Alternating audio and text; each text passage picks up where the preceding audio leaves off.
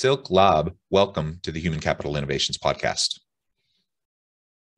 Thank you very much, John, for inviting me. I'm it's really a pleasure to be on your podcast. It is a pleasure to be with you. Thank you so much for taking time out of your busy day.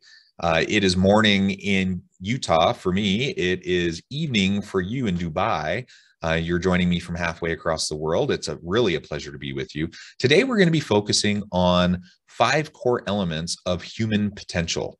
Now, of course, this has relevance uh, in all aspects of life, in our personal life, our family life, our community life, but it also has direct implications for the workplace and how we lead our teams, how we fulfill our potential as leaders, but also how we support and, and help uh, our people fulfill their potential as well. So we're going to unpack all that and have a nice conversation today.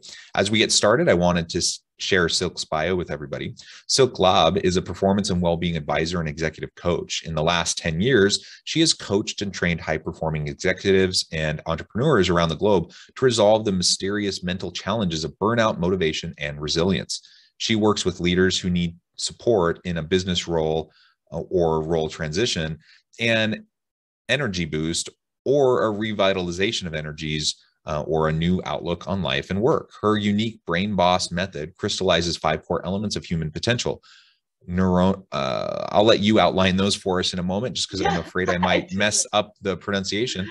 She trains practical skills and unpacks and fine tunes mental models to produce the outcome you want and I could go on and on and on about your bio, but what a tremendous background. You do some really important work. Anything else you would like to share with listeners by way of your background or personal context before we dive on in further? Yeah, very quickly. So, for my profession, I'm actually a psychologist. I have a master's degree in psychology. And then I picked up all kinds of uh, coaching credentials, neuro linguistic programming, clinical hypnotherapy, systemic work. You also had one someone who did rapid transformational therapy. I, I also have i attended a course in this, behavior analysis, yeah, all kinds of things, applied neuroscience to really offer something for the five core agility points of human potential because in the end, well, what you also said, it's a more holistic approach. And everybody is different. The situation someone is in is also different. And therefore, uh, all these different credentials to, to help really people at their best. Wonderful. Thank you for that additional professional background. Clearly, you are very qualified, uh, have a lot of credentials and a lot of skills in this area. So now let's go ahead and unpack the five core elements of human potential, and we can start to dissect that and really dig into each of those. Can you lay those out for us? And then we can start uh, moving into each one. Yes. So the five elements are agility points, and the first one is neurological agility. Then we have emotional agility, mental agility, social agility, and spiritual agility. So these are the five core ones. Do you want me to start with the first one? Which yeah, let's go ahead and dive right on into the first one. Um, and I appreciate you you framing it in terms of agility. I think that's also uh, a very helpful way of understanding potential and growth and development. Yeah. So our uh, anything what we are doing, feeling, acting out is all directed by the brain. So if your brain, if your neurons are not really up to the task, then it's very difficult to be at your best. And in this core element, it's really important to look at sleep, your sleep pattern. It looks also how you deal with stress in general then also how do you energize yourself? How do you structure your day to be really at your best? You're not able to work eight hours non-stop. I, I, believe john with all your academic background you have worked for hours. Um, but, but from own experiences you know at a certain point there's not much of productivity coming out of that. So, and I completely agree. By the way, um, this is actually a, a comment and a question I get fairly often. I tend to be a pretty organized and productive person, and so I I strictly hold to the, the idea that you know i'm not going to just burn the candle at both ends i'm not going to work endless hours and i want to devote time to my family. I want to devote time to help uh, uh, plenty of sleep and recreation. And so i just try to the times when i'm working i try to focus uh, and be very productive in those chunks of time uh, and then i try to have a, a balanced integrated you know work life. And uh, that's worked pretty well for me. I completely agree that you know working uh, you know the, the average person really can't focus for more than three or four hours a day tops anyways. And so working 10 12 plus hour days isn't really going to be very fruitful for most people. Yeah. And this is uh, uh, by the way something i do with most of my clients in one or two sessions just to look at their whole day. How do they outline their day I have, for example, someone who works for a consultancy firm. This means taking work also home. She is a single mother. She has two kids, so she also has to help the kids. And therefore, it's even more important that even during the way, uh, work time, the consultancy firm that she structures really per day, targeting her main things and also have some breaks in between because there was a time she had one meeting after the other and in the end she didn't know what she even discussed with one person and she felt totally exhausted.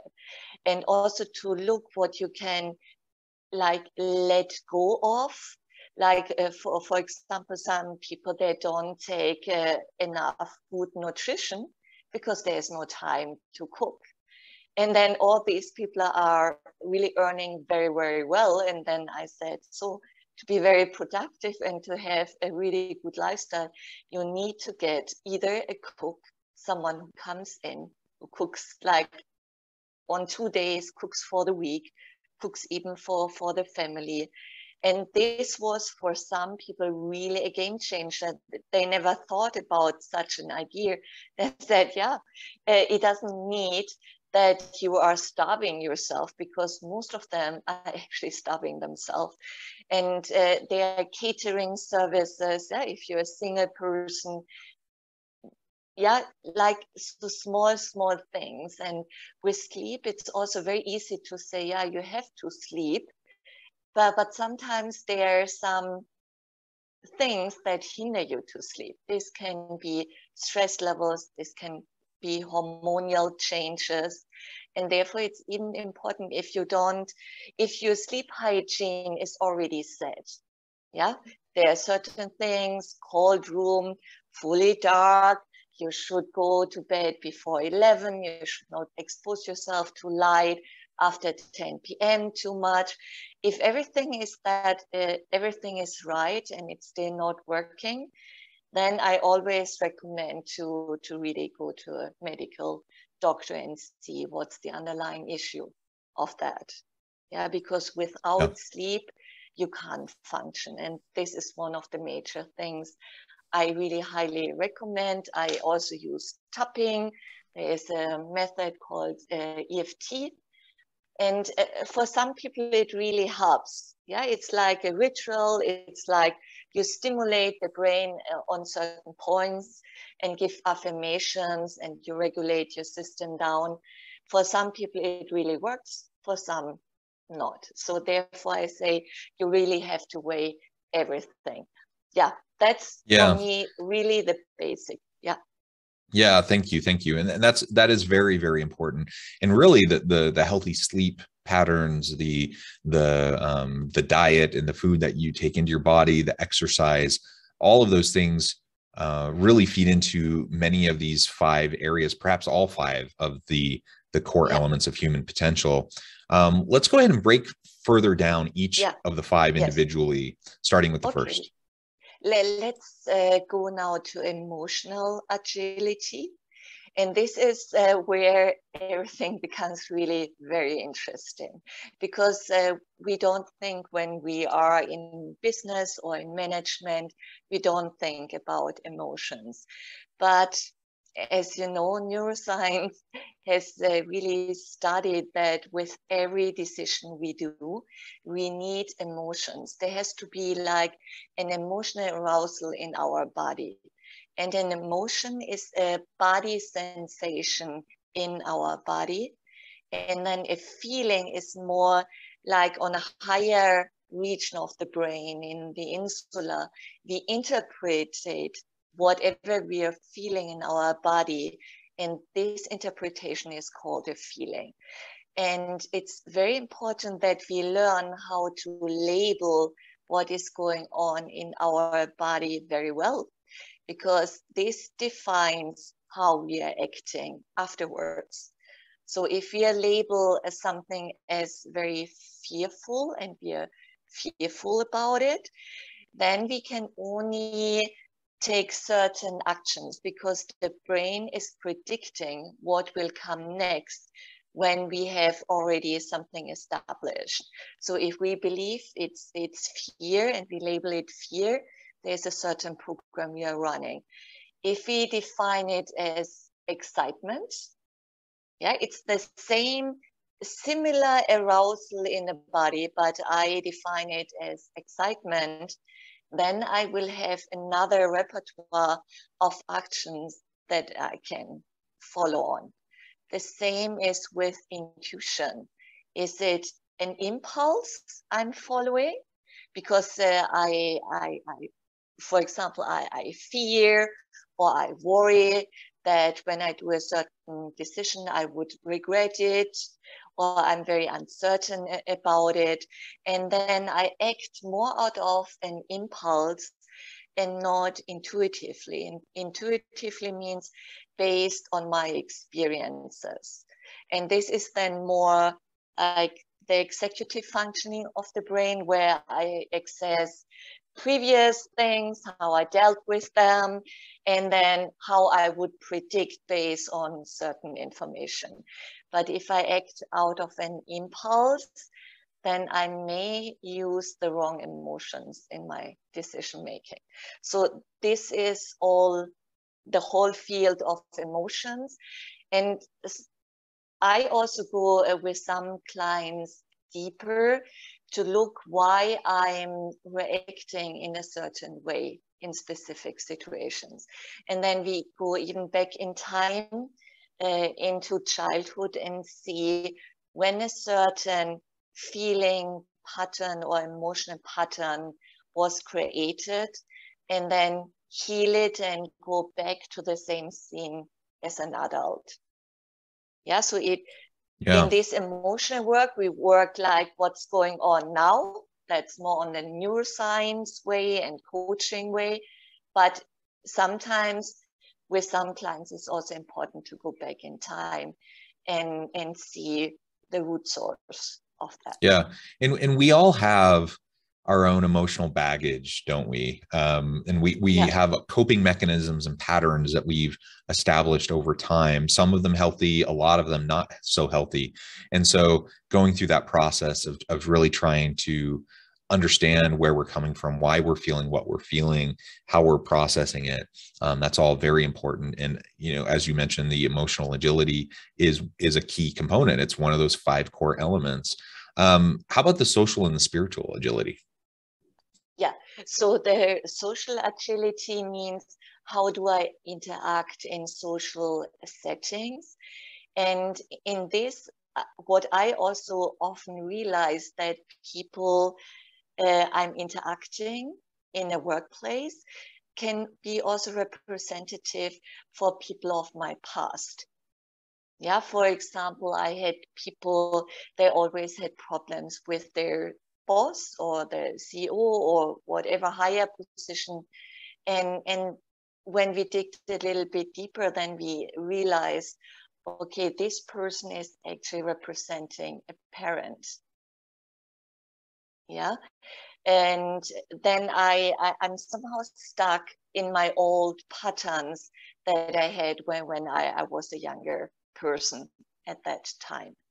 What also uh, social interaction means that uh, you are also able to really reflect what is going on. When there is a conflict, we tend to find on a surface level to solve the problem immediately.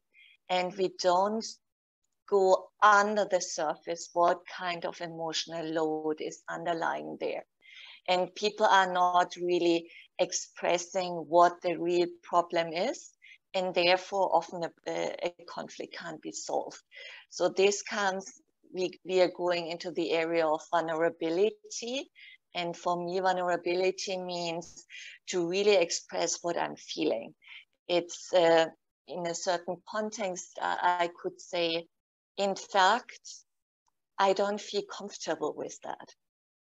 In fact, I feel very uncertain. I feel not seen. I, I, I feel that my arguments are not seen. So what I'm expressing is I. Yeah. And with this I, I reflect what I'm feeling in that or, or what I'm sensing in this very moment. And when I open up to this, the whole conversation can go into a totally different direction. Yeah, excellent. I love it. How about spiritual? Spiritual is um, in this uh, context to really see what is your life's mission and this is for, for me then more the spiritual uh, level. Often in companies, we uh, they have their mission and vision, and of it's, often it's mixed up. But the mission is to follow your core values. For what are you standing for? What part of the world are you representing? What part of the world you want to create an impact in? And if this becomes really clear for you, what your life's purpose, what your highest meaning in life is, then you can align everything else under it. Then you can say, okay, if I'm part of a world, for example, in my case, it's wise counsel. This is uh, my mission, it's my philosophy. And if I have this, then I can say, okay, if I if this is my mission, what could be a vision? Where could I uh, act out my mission? I could work what I did even be before in the educational sector. I could be a psychotherapist. I could be a mentor. There are different options, different visions, how I can live my mission. And then I can also structure very easily what are my values, what are my core beliefs when I have this mission?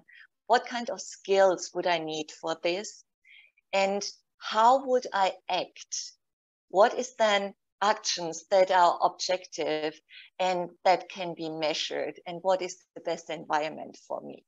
That's a typical alignment exercise from NLP, but it's very, very powerful. The moment you have found your mission and align everything under it, and then you walk up your way, I always say, then people are coming out of that really, how can you say, really content. They know what it means.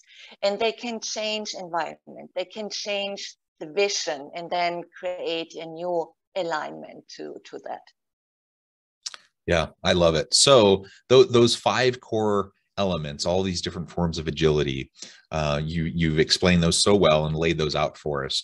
So as I mentioned in the, the introduction, clearly this applies to me as an individual, uh, you as an individual, all of us as we interact with our families, friends, communities, etc.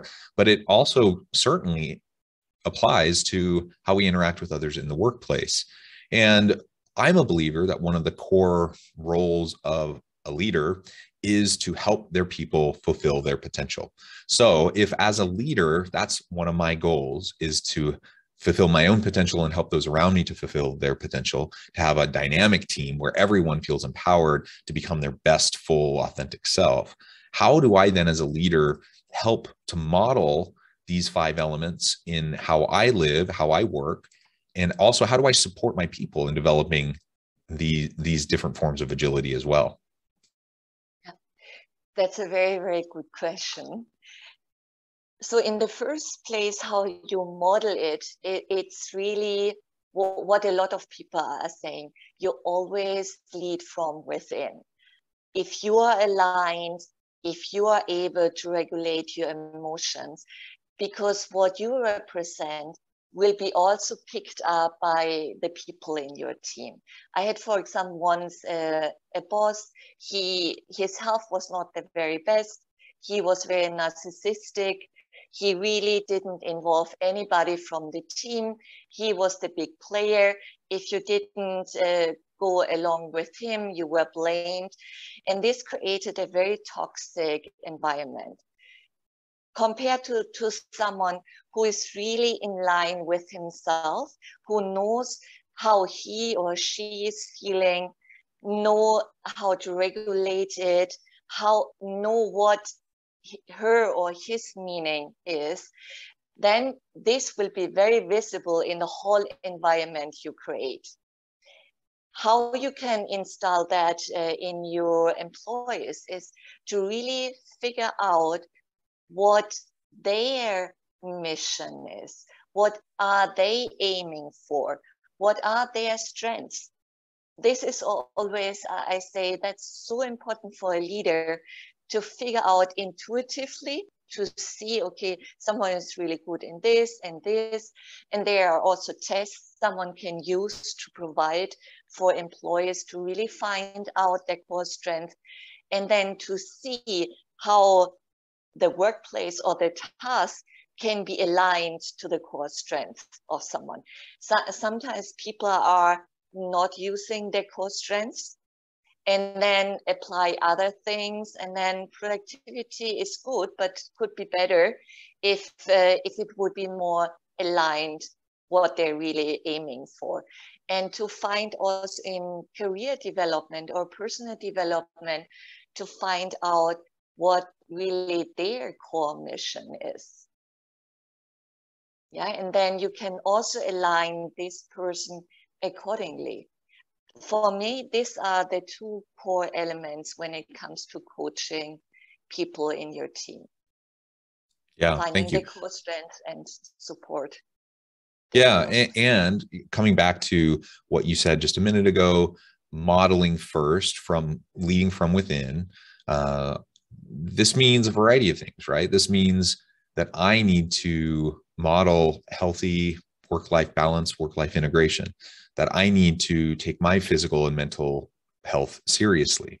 Uh, and that I need to be vulnerable enough with my people to to let them see, you know, that it's something that I'm prioritizing, In that sometimes, you know, I may not be on my A game, and that's okay. That I need support sometimes, just like I'm going to try to support them. You create an, a psychologically safe environment, an environment where everyone knows that they can truly bring their whole self to work and that they're going to be supported in that uh, that then creates this this uh, context in which we can start to, to really better understand our own uh, really how we function within these different five areas of agility.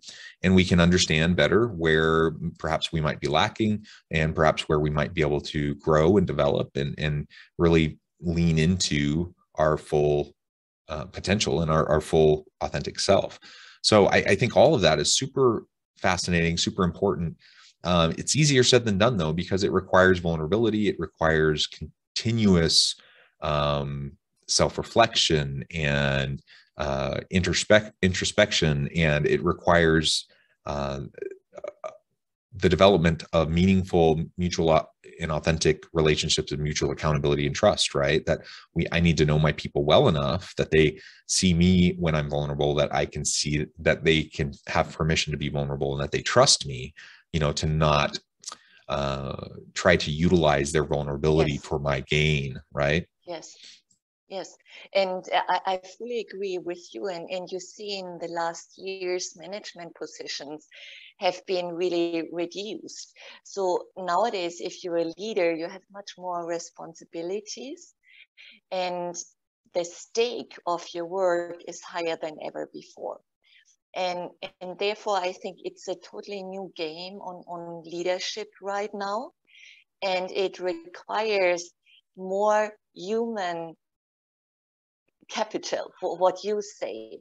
You as a human being really have not need to, uh, but, but it would be important if you really reach your whole human potential and that you go through that first on your own so that you can en enable others. And, and you know, new generations are much more vulnerable. So they're not going through the high stake like our generation or the millennials. They want, they're much more emotional, open. They, they really want to have a work life balance. And some consultancy firms like PricewaterhouseCoopers, they implemented a concept work well, uh, think well. What was it? Think well, feel well, work well. Um, where in team leaders, they what you mentioned before, they have to be a role model. They have to go for a lunch break. Yeah, if, if they are not going for lunch break, the other won't, won't also go for it. And they do like um, uh, certain goals per week on what kind of area you want to focus on for your emotional and mental well-being. And it's shared in the whole group. And of course mm, it's not working in every team but in, in teams where the leader is open it works very well. And it yeah. has really consequences on performance and well-being yeah yeah it does well, Silk, it has just been a real pleasure talking with you. I know at the time I need to let you go here in just a moment, but before we close, I wanted to give you a chance to share with listeners how they can get connected with you and find out more about your work, and then give us a final word on the topic for today. Great. Yes, you can find me on LinkedIn under my profile, Silke Glaab. I post a lot. It's a very com comprehensive profile. And then over my website, brainbossmethod.com. And uh, there you can go through it and you can also book a free consultation session to really feel and see if this method is the right one for your current situation. And what I wanted to say is there's a reason why I call it the BrainBoss method, because everything what you're doing is in your brain and become a boss of your brain. And this includes everything what we discussed today. Wonderful. Thank you so much. It has been a pleasure. I encourage listeners to reach out to get connected, find out more about what Silk and her team can do for you. And as always, I hope everyone can stay healthy and safe, that you can find meaning and purpose at work each and every day. And I hope you all have a great week.